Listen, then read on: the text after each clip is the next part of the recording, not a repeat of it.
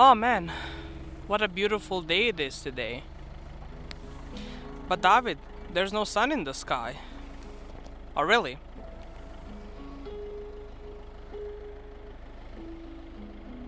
Well, I guess you're kinda right.